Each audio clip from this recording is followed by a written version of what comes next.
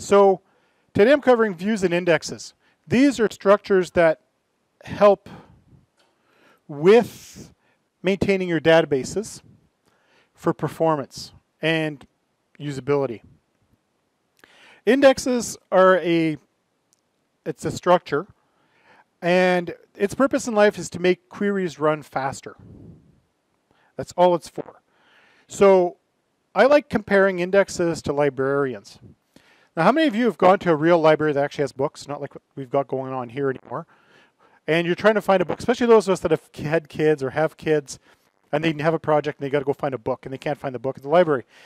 Even though you search for it, you'll never find it. But you go ask the librarian, magically she'll walk to some shelf and pull a book out and just you, because they know where the stuff is. Indexes are the same idea. They basically build up a structure that keeps track of where things are. And using this table as an example, which has three columns, name, age, and city, and if you do select star from person where names equal to Smith, it does what's called a sequential scan. Anybody want to take a guess what sequential scan means? Row one is the name Smith. Row two is the name Smith. One million times you have a million rows. It's not very efficient. Index file organization stores records sequentially or not sequentially, depending on the storage engine you're using. However, the index provides a quick way to find individual records. It's essentially a hidden data structure which you can't really see, you just see the definition of it when you look at the database structure. But on the disk, there's a pile of information stored. Um, primary keys are always indexed by default. Why? Because you need to find things fast if you're looking them up by primary key, therefore it should be indexed. Other fields and combinations of fields can be indexed. Those are called secondary indexes, or also known as non-unique keys.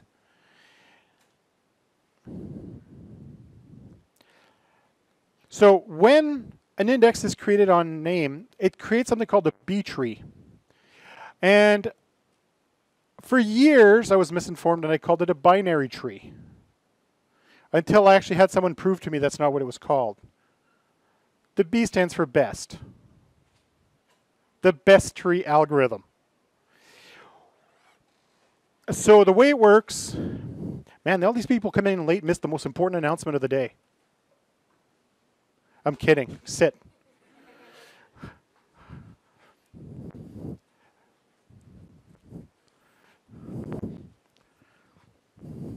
All right, a B tree goes down four levels deep and it can fan out hundreds of levels wide. Essentially, it takes the data in your database and divides it into chunks. At the first level, it takes the database, divides it in two. On the next level, it takes each of those divisions, divides those into, again, into, one last time, into. So, anybody here ever play the game of guess the number between 1 and 100? And the most efficient way to find the answer is divide the total by half every time. Right? You go guess a number between 1 and 100. First answer should always, first number should always be 50. And of course, they're going to say higher or lower. So if they say higher, you go to 75. If that's not right, then you go to somewhere between 75 and 50. And then you keep dividing. Theoretically, you should be able to get it within five guesses no matter what. Right? Five guesses, you got a 50-50 chance of getting it right. Um, that's how B trees work but they do it with letters and numbers. The syntax is pretty much one of the easiest syntaxes you'll see. Create index, give it a name, on, you tell it the table and the field or fields. One field or more, comma delimited. So an example of a two field one is at the top. Create index, double index on person, age, and city. And there's two select statements. And don't pay attention to the double quotes. This, this slide was created for MySQL, but the concept still applies. It will select star from person where age is 55 and city is equal to Seattle. But it will not help with if you're just searching for city is equal to Seattle. Uh, just the way it sets up the data in the index, it, if you, it, only, it only helps with full sets of fields that match the contents of the index. In this case, this index has age and city. It'll help anything that includes age and city. But if you only have one of those, it doesn't help.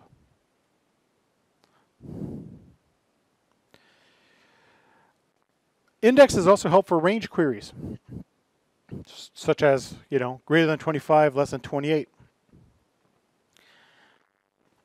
And just like anything else, it's numbers. And numbers are the easiest thing to index because, well, they're numbers. Letters and alpha, letters and stuff are a little bit harder to index. Which leads to this question, why not index everything? Index all the things. And this is one of the first mistake junior database developers do. They're like, my database is a little slow, I'll create an index. Oh, this query is slow, I'll create an index that matches this where clause. Oh, this is slow, I'll create an index that matches that where clause. Here's the impact. Every single time you make a change to that table, you have to modify every index that applies. So let's just say you insert a new record. And of course, primary keys are always indexed. And let's just say you have three other indexes. So in total, you have four indexes. What it goes to do is it goes to do the insert. It grabs the table, finds the next spot in the table. There's one read operation. It writes the record. There's a write operation. It grabs the index for the primary key, finds its available slot, writes to it. And how many? I said three other indexes. That's how many write operations every single time you add a record. Read write operations at a minimum. And then if there's foreign keys and stuff, you know, there's more tied to that too. So for every time you add an index, you're doubling the amount of I.O. other than the primary key. Uh, other catch you have with index is they take, even though it won't take up as much room as the table itself, it still takes up room. Now, of course, people say, well, I got a terabyte drive, room's not a problem. Sure. But check when you go and shove that on a server where the hard drives are five grand, uh, you know, five grand for a terabyte and a half of uh, high-speed storage, as opposed to, you know, was it 42 bucks last time I bought a terabyte drive? Spin disk, laptop drive was like 42 bucks for a terabyte. The the price difference between what's put on a server as opposed to what you have in your sheet is dramatically different. There's reasons for that too, because on the server, the drives are designed for long life usage. They're designed for, for maximum information data throughput. Um, they're marked because they're server parts. It's automatic. You get a server part, and they're going to throw in a little extra markup because it's made for servers. Um, but realistically, that's another reason why you don't create an index. Because let's just say your main table occupies one megabyte. Let's go with small numbers that are easy to understand. One megabyte. Your primary key index may occupy 100K. Your index on a person's name may occupy 200K. You, your index on postal codes may occupy 100K. Well, let's add two more in there, say at 100, 150K each. Our indexes are occupying more space on the actual table at this point. So the tools used to retrieve are using up more room than the actual data itself. Now, when we talk about one megabyte, yay. Now let's go for gigabyte. Suddenly we're going for one gig to be like 2.2 gig for one table because you have so many indexes. So there are rules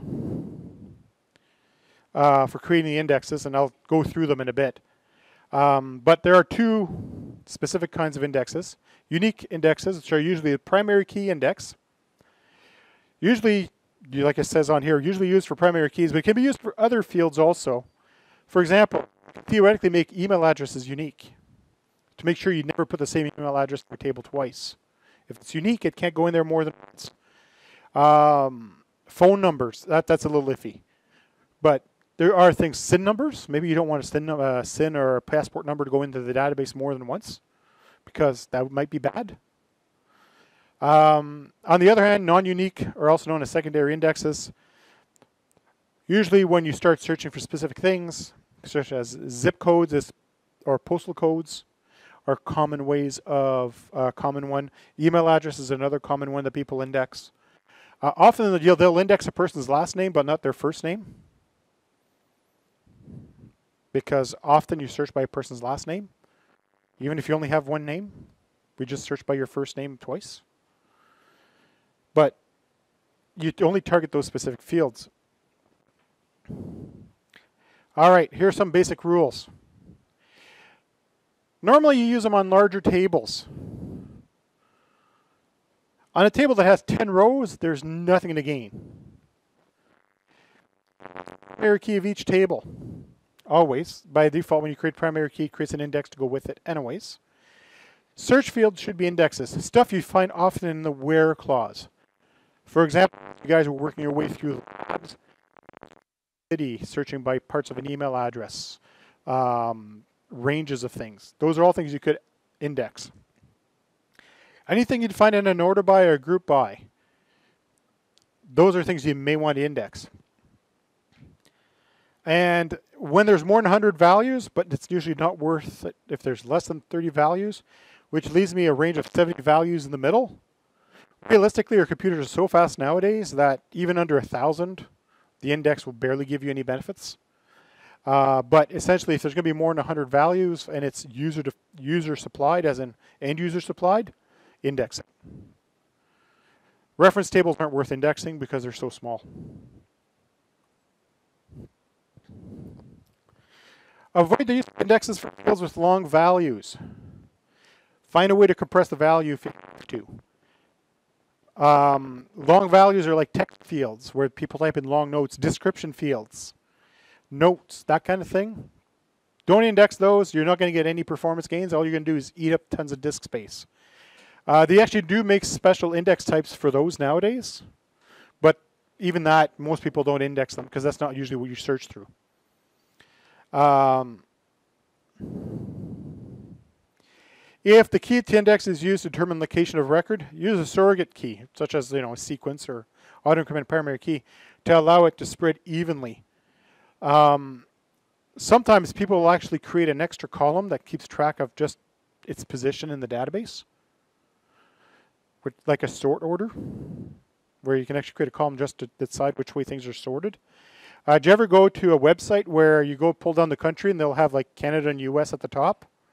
Or depending where you are in the world, you know, China or India at the top, and every other country is sorted alph afterwards alphabetically?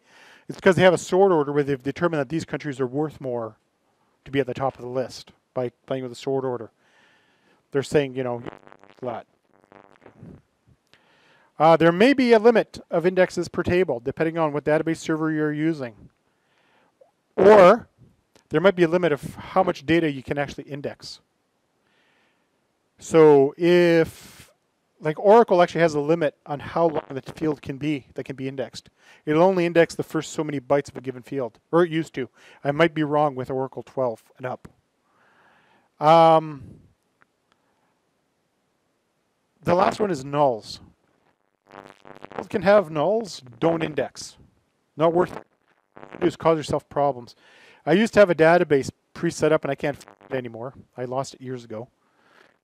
This course, specifically index a null field. Um, null values get excluded from the index. So that means if you do a search and you go, for example, uh, city could be null, and you go where city uh, is equal to, you know, quote, quote, it'll actually not find anything that's null. It'll actually give the wrong result set because exclude anything that's null out of the results. Because the index said it's not there. This doesn't exist. These records do not have an actual valid index entry. Therefore, these don't exist. But then just do a select star from the table, and you'll see all these called these fields that are empty, and all these extra rows that you thought were not there because there's nulls. Don't index nulls. Okay. Um,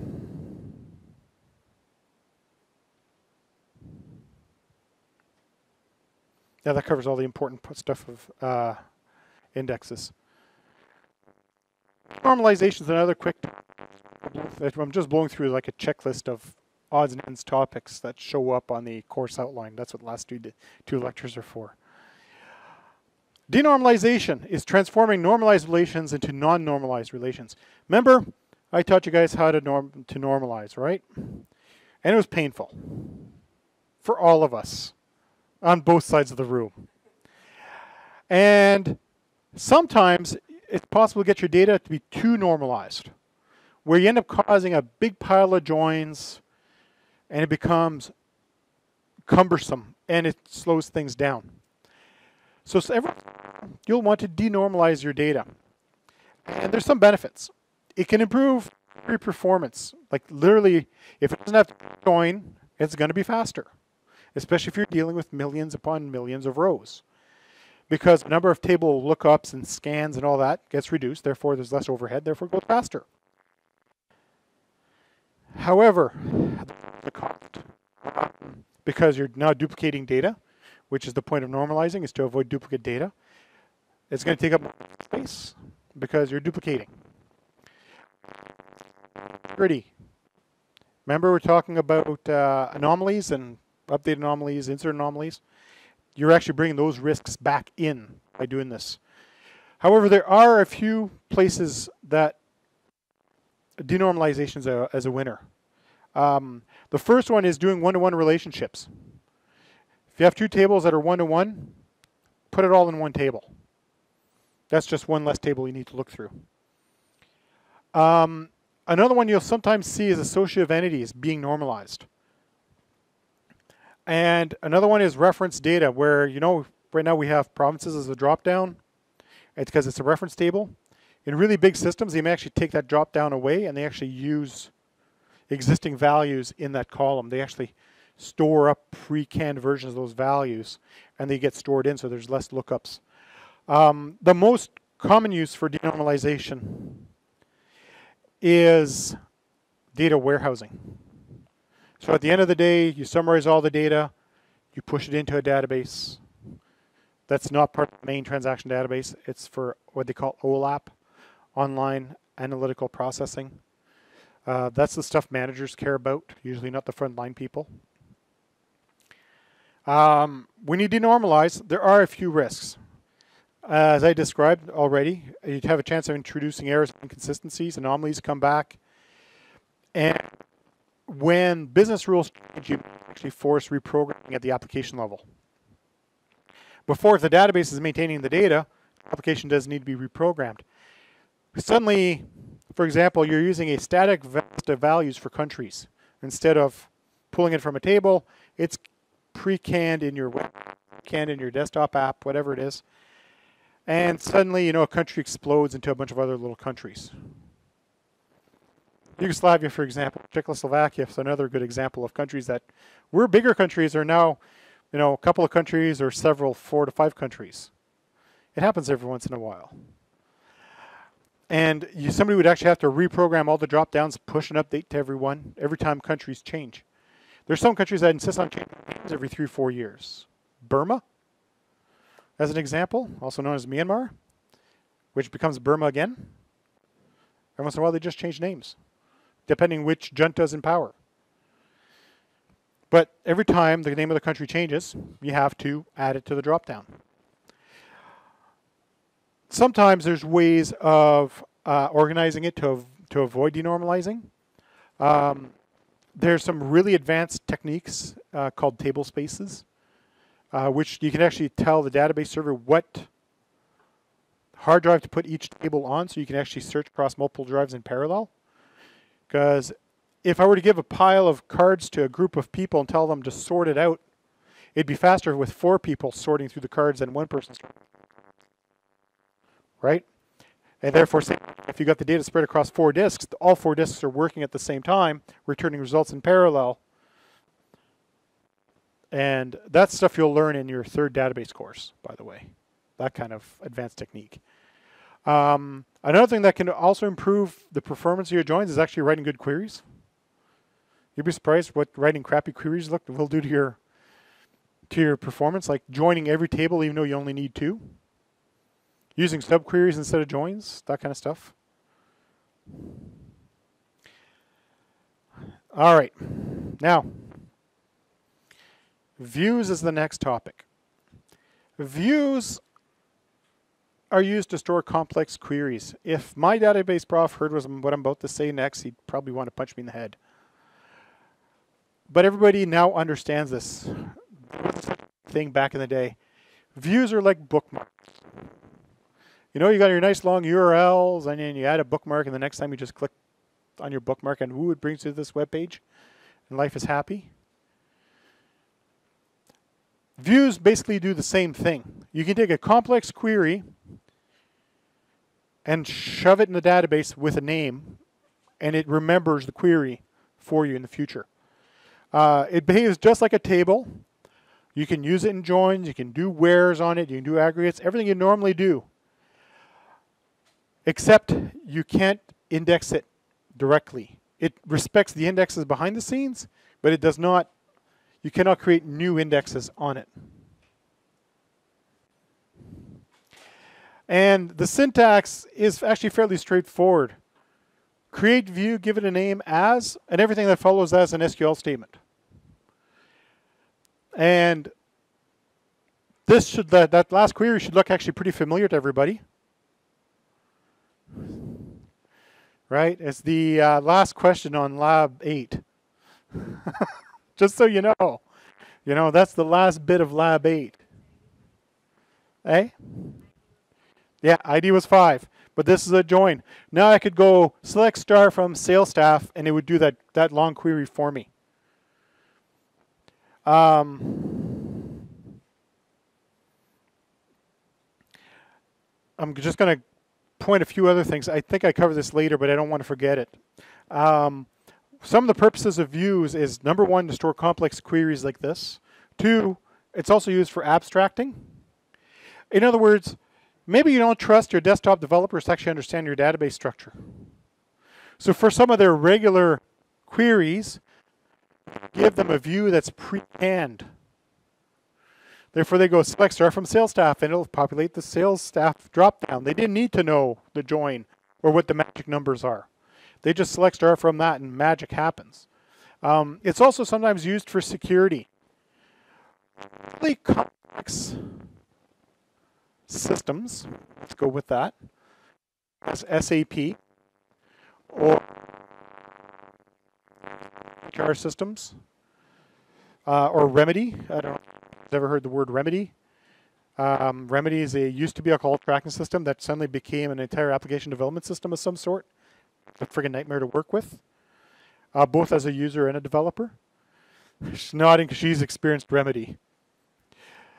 Um, a lot of what happens inside the database when you're creating permission views for specific people, it actually creates a canned view of what it is you're trying to grab. And then the application's smart enough to read the view and know what to display on the screen. Ish. Um, often it's, it's, used for security so that you can define specific things groups of people are allowed to see. And when they go and hit the database, they actually hit the views that belong to their group, not the actual structure of the database. This should make sense for people that are learning object-oriented programming because you know you got your classes and your objects and then you have interfaces to, to get at it and you use the interface. And you don't need to know what's happening behind the scenes because the interface takes care of it for you. Or, you know, when you inherit, you don't need to know what the other class is doing on the inside. You just want to play with its methods. Same idea. And this is just another slide that covers pretty much the same thing um, shows an employee table with those columns. However, I want to create a view just for developers, and all it'll ever show is their name and the project they work on if they work in development. It's a clean view, nice and quick, straightforward. Now there's two kinds of views. Virtual views. So when you hear someone say view, they're referring to a database, 95% of the time they're referring to virtual views.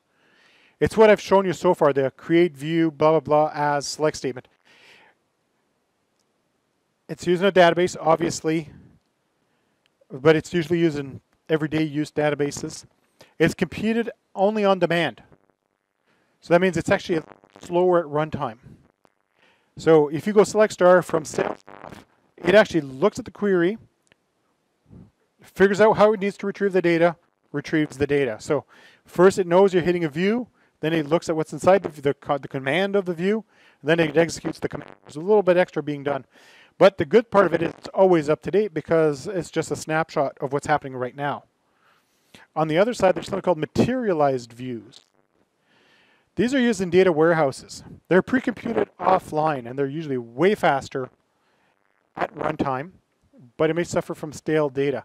Now, a materialized view is what is put into a data warehouse. For example, I like using Amazon for this because pretty much everybody's bought something from Amazon, or at least browsed the Amazon website, or bought something from Amazon knockoffs. Insert right here. And at the end of the day, they take all the data for the day and summarize it.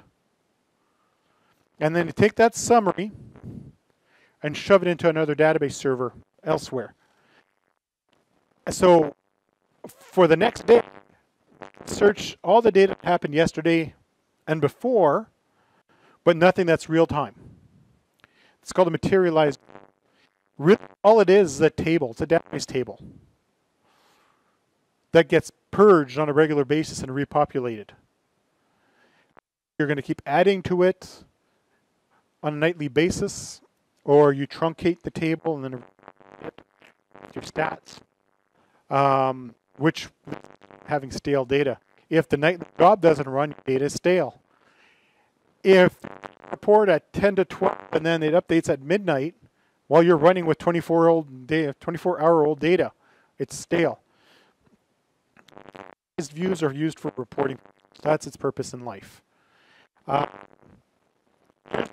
one of the contracts I worked on was for a company called Trialto.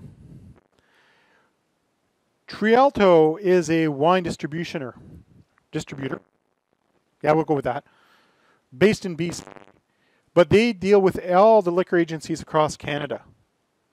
And what they do is they negotiate with the different vintners around the world, the different wineries and whatnot, to resell their wine to the Canadian market. Selling booze in Canada is difficult. It's not as easy as you think it could be. And but what the problem was that they needed to know how their sales were doing every month so they could report back to their vendors saying, "Hey, by the way, you, this wine, you know, your Cabernet Sauvignon 2011 is doing really well as opposed to your Pinot uh, your Pinot Noir is a little eh." Right? So and they'd want to know which provinces were doing better with certain kinds of wine so they could try to keep pushing that kind of stuff in there. Now, one of the big problems that we had was every liquor reporting agency in, in Canada was different. In Ontario, we could get the data once a week. Manitoba, Saskatchewan, and Alberta all shared the same system. All their stats went into one server, but they weren't broken down the same way because I don't know. BC was a special nightmare unto itself. Um, Quebec was the coolest. Go figure. Quebecers and their wine. We could get nightly sales. Literally daily sales every night. We could pull a file and retrieve data out of the system. Now, here's the problem. The data layout from Quebec didn't match from Ontario, didn't match from Alberta, didn't match BC's, and we tried not to deal with the maritime provinces if we could. What we had to do is create materialized views. So every night we'd have batch jobs that connected to these services, pull down the latest data file, extract it, temporarily store it in a database, build a matching view so the data structure matches the same as what we're using for reporting. And so every day we'd put on, okay, here's the liquor SKU, this the description of the wine, this how many cases were sold, how, or actually how many bottles were sold, because then based on the SKU we knew if it was you know six bottles to a case, twelve bottles to a case, whatever. And we built up this stat. Um, last time I checked, last time I dealt with this was seven years ago the stats table, the materialized view that we built up at night, was sitting at 27 million rows of daily information. That was five years worth of data. Apparently, it's gotten a lot bigger since. Um, but you know that's what a materialized view is. For. So then the, the sales managers could go in the next day and look at what the, how the sales are trending across the country, regardless of the province, because they'd say, "Well, how well is this selling?" And it would tell you totals by province you know, what's the last three month trend for these particular vintners? And instead of hitting the actual raw data tables were closer to like 30 million, 40 million rows. One query could take up to two hours to run. The materialized views would allow these things to run in a minute because they were already, there was no relationships. It was all summarized. That's what materialized views are for. Now, views can be made updatable.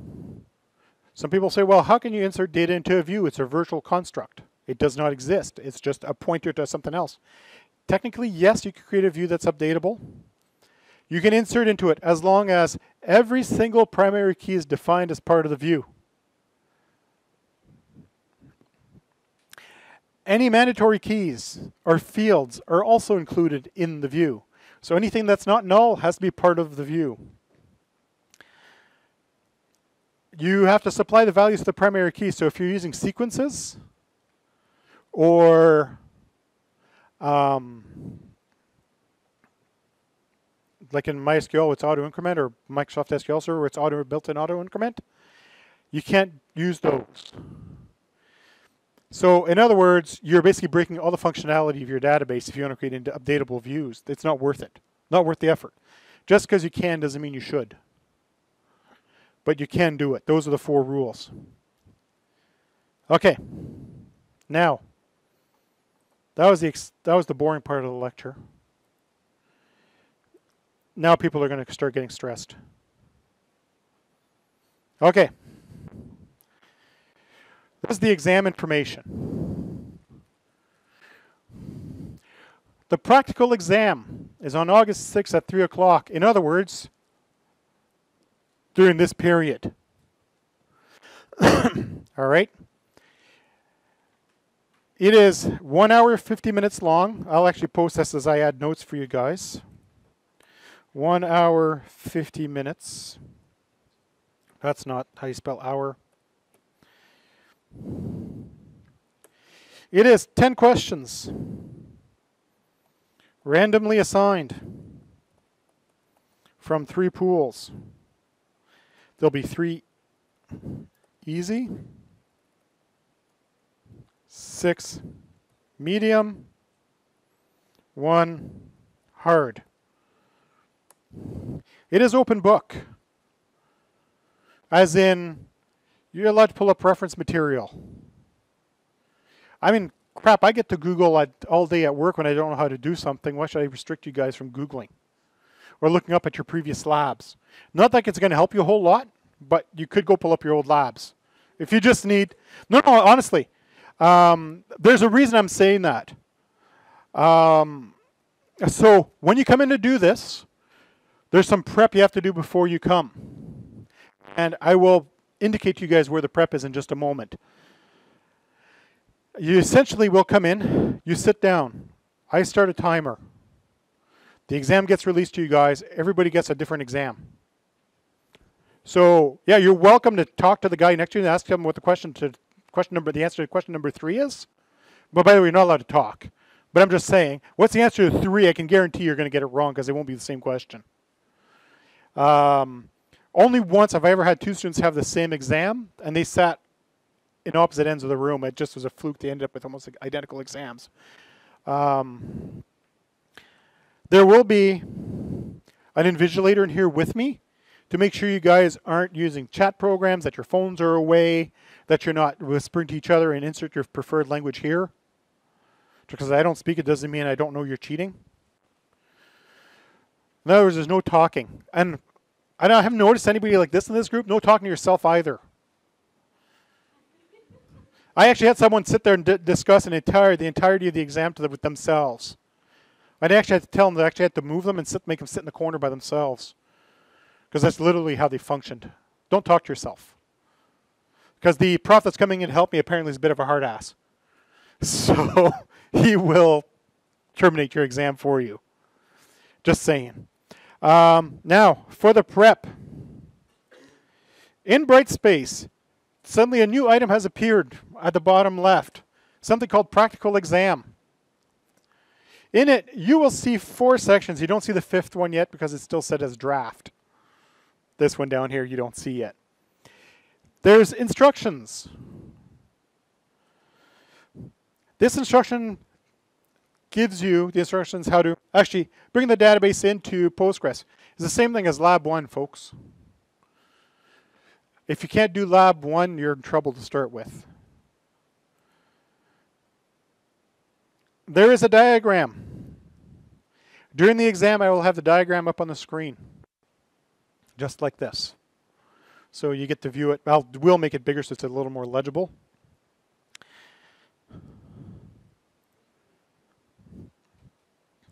There's a zip file that contains the backup of the database. And then this is the important one practice questions with answers. And I'm not going to zoom in because you guys go look at it yourselves.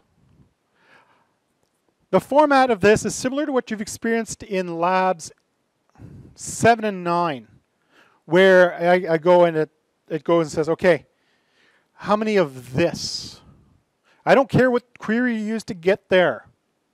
If you do it in six queries to achieve your goal, knock yourself out. I want the answer. Just like in the real world, when your boss comes to you and says, How many sales did we have last month of this product? Do you think your boss cares how you got the answer? He just wants the answer. Same deal here. This is real world. Now, just so you know, this data is real data. There used to be a website, well, it still exists, but it's not active anymore, called FlightAware. It I actually, they used to offer their database up, that was slightly out of date, and it was flight information from around the world airlines, aircraft, airports, the routes between the airline, the airports. These were all real route numbers. This is actually real data with actual 100% real information in it. It's just it's now been you know it's been dead for five years. This data is five years old. So not going to help you if you're trying to figure out, you know, your best flight from one place to another, but it is real data. Um, it's been massaged from the original format so they would fit the structure I've been teaching you guys.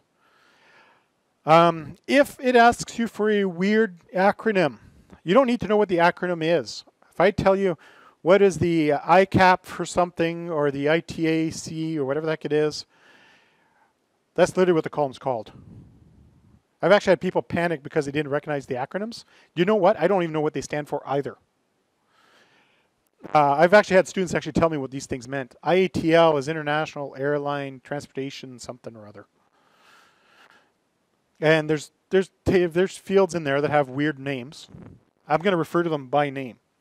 Any of a given question, I'll ask for one value coming back. None of this, you know, what's this, this, and this. Um, and here in some of the sample questions, you'll notice that there's, you know, what's the min, max, and average. I'm not going to ask that question. I'll just, I'd ask what is the max, what is the average, what is the minimum. Now, like I said, the test is 10 questions long. There are 22 practice questions broken down in easy all the way down to pretty difficult, which matches the same structure as the exam. Um, my study recommendations for people for this tend to be as follows. Grab the first third, do them one day. Grab the second third, do it the next day. Grab the last third, do it the last day. Take a two day break so you forget how you did it. And then try to do the whole thing. Um, I had students ask me, how fast can I do these questions? I, my answer was nine minutes for 22 questions. But that's because I, one, I knew the data well, and two, I've been doing this for 20 some odd years, right? And actually, I made mistakes while I did it because I was answering a student's question during those nine minutes. So, you know, I can make mistakes doing it too. Once I came back and I realized I made mistakes, I fixed the mistakes. But if I took my time, it takes me 15, I'd say 15 minutes or so to do it, to do 22 questions. This is someone who does it for a living. You guys are getting 10 questions instead of 22, and you're getting two hours to do it. The, av- the fastest I've ever seen my practical exam done, and it's I've been using the same one for a while now. It's just because it's randomly generated, and every term teachers give me more questions to add to the pool. So the pool keeps getting deeper and deeper and deeper. Um, the fastest I've ever seen it done was 16 minutes. A dude got up and walked out the door. 16 minutes in, he got 8 out of 10. The average speed usually is about an hour, an hour, 10 minutes, which, if you think about it, 10 questions is just about right. You know, gives you 5 to 10 minutes a question. shouldn't be that bad. The first couple questions, you could probably blow through them in a minute each. It's the ones at the end. And when I say by hard, he's falling asleep. Are we having a good nap? um, the, what I call hard, it's not that it's any harder than, say, the medium questions. It's going to take you longer to write. So I base it on, you know, easy means, you know, you're querying one table or two. And medium, you're querying two, three tables. The hard means you're joining most of the database. But it's still possible to get an A plus on the on the practical and not get the hard question. Because 9 out of 10 is still 90%. Okay. Uh, this, again, it's under content, practical exam, and you can get your content from there. The theory exam. Again, in this room. Saturday morning, August 10th. Oh, that's wrong. 8 a.m. Oops. It finishes at 10. 8 a.m., folks. You're going to have to make sure you get up extra early. okay? It is closed book. I'll be pasting this on Blackboard. And this, the second one, you should be able to see on ACSIS now in your timetable. Okay? It is in this room. It is a closed book exam. It is on Brightspace. Now, how is it going to be closed book if you can use your laptops? A little bit of honor system happening there. What can I say? However, everybody's been wondering what the stack of yellow crap in my hand's been. I'm allowing you guys to have cheat cards. I've already printed your name on it. If you need a reprint, it's not going to be yellow the next one. It'll be a color of shame. So don't lose your card. And why is it important to not lose your card? This is your attendance to the exam. When you leave, you give me your card. And there's a spot for you to sign the card. You know, what? like you guys do tests and the teacher makes you sign a piece of paper? Crap, I hate that. Because there's always this bottleneck at the front of people jostling and no, and it's disruptive to everybody. I'm going to have a nice little box, probably right here, and you're going to come by and you go boop, and then you get to leave. You're allowed to use both sides of the card. Okay? Do you notice I picked a really atrocious color? Why? It's visible. If I see you with a white card, sucks to be you. And like I said, if you ask for a reprint, it's probably going to be hot pink. Not that I don't still have yellows. I'm just going to make it a different color. Um, so what's going to happen is through the week I'll be distributing these. Um, don't grab your friend's card. Grab your own. Because this also gave me an idea of who hasn't been paying attention. So if you grab, you know, oh, my, my dude hasn't come today. I should grab his card for him. Your dude probably hasn't come in three weeks. Don't grab his card for him. He, I will be posting this on Brightspace that it's important to come and get your card from me. Um, there's actually more cards under people still registered because ACSIS tells me one number and Brightspace tells me a different number. So I went with the bigger number of people. Um, some people have really long names, and I feel bad. Your signature line's below your name. It's hard to see. Uh, but uh, not that your name's really long, it was just long enough to screw it up. But that means you can still write up above it. You just need to be able to at least put your initials on the card. You can use every square inch of this. So I'm not going to say single-sided, back must be blank. You can use every inch of this to your heart's content. For those of you that like having themselves little cheat sheets that they like having on their computer, guess what? I'm giving you one. So, so like I said, this is your attendance. If you come to the exam and you don't have your card, I'm going to make you write your name on a piece of paper. However, if you walk out the door and you didn't give me your name or your card, guess who was not here?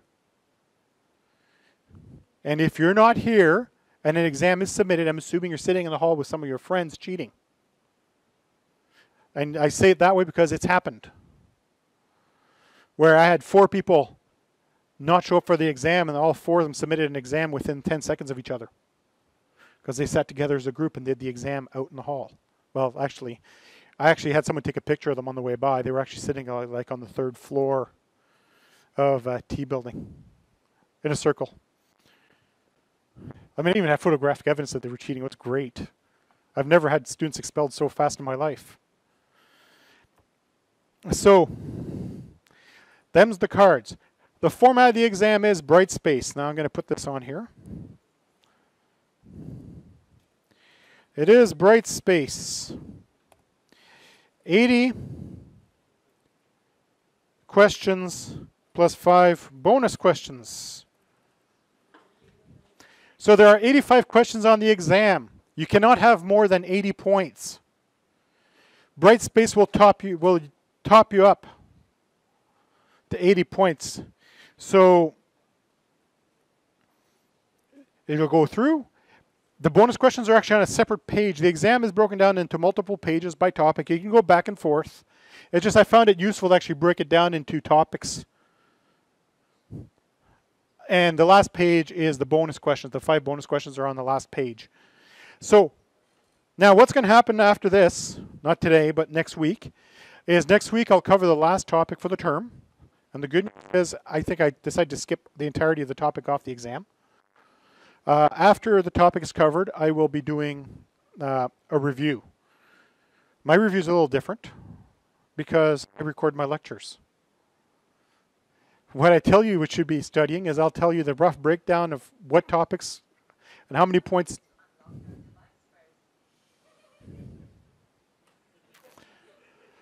What's with this row? one's obnoxious, one's falling asleep. I know it's warm in here, but it's not that warm. And so next week I'll be doing a review. The way the review is broken down is I'll tell you, you know, 17 questions of this, 16 questions of that. You know, the, this is what the bonus questions are like. And go. And then, so that's what I'm going to be doing next week. The week after, obviously, is the practical exam, so there's no review that day. No, it will not help you with your computer problems during the practical exam. Too bad. The last week, the last lab periods, I call it the pity party. What is a pity party? It's I didn't do my labs. Please give me grades. And you come in and you beg for, for half points. You basically beg, beg, I mean, you show me the work you didn't do, and I give you at least 5 out of 10. Actually, at most, you'll get is 5 out of 10. But at least it's 5 out of 10 is better than 0 out of 10. But you will have to come in person. I will not accept electronic submissions because I will be closing down the labs. So you won't be able to see them because by then you already did practical, so there's no need for labs anymore. So you won't be able to submit them. You actually have to come in person to show them to me. That's how you get your points. So the last week is the pity party. I call it that, and you know, some people feel offended that I call it the pity party, but honestly, you've had so much time to do your labs that I don't feel bad. Okay, so I'm going to pull the plug on this now.